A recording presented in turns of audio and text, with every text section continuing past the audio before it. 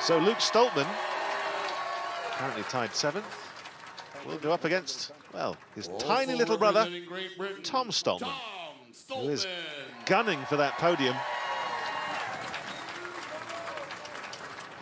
The local superhero, the Scarlet Ninja.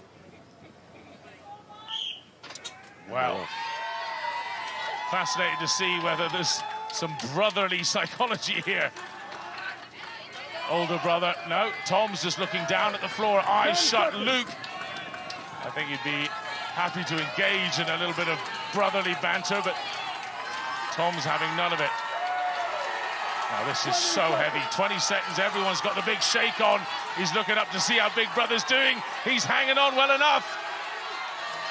Well, Tom, first to go, but first to give encouragement to his brother, as always. And Luke manages 35.74 seconds. Comes up short of Caron there. Representing Great Britain, Adam Bishop. the Stoltmans. Well, the plural is Stoltmen. You know what? I don't think that's a good result for Tom. Oh, I think his podium chances may well have been Representing